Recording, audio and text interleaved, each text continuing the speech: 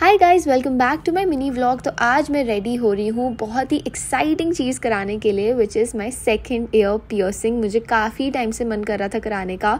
And finally आज time मिल गया है और मैं जा रही हूँ मम्मी के साथ ऑफ़ कोर्स थोड़ी सी नर्वस भी थी जब जा रहे थे बट एक्साइटेड बहुत ज़्यादा थी। एंड हम लोग पहुँच गए हैं मार्केट बस स्टोर में जा रहे हैं। बाय द वे मैंने अपनी इंस्टाग्राम स्टोरी पे आपको पहले ही थोड़ा सा हिंट दे दिया था। किस किस ने पहले ही गेस कर लिया था मुझे कमेंट्स में ज़रूर बताना। एनी anyway, हम पहुँच गए यहाँ पे उन्होंने कुछ ऑप्शंस दिखाए थे। मैंने चूज़ किया मुझे कौन सा वाला चाहिए था।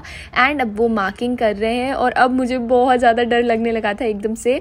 पर सच बताऊँ ये सेकेंड्स में हो गया और इतना दर्द भी नहीं हुआ। मतलब बिल्कुल पता ही नहीं चला और काफ़ी प्रटी सा लग रहा है। मुझे तो बहुत अच्छा लगा ये करा के आपको मेरे ऊपर कैसा लग रहा है मुझे कॉमेंट्स में ज़रूर बताना। इंस्टाग्राम पर फॉलो करना मत भूलना I'm going to see you guys next time.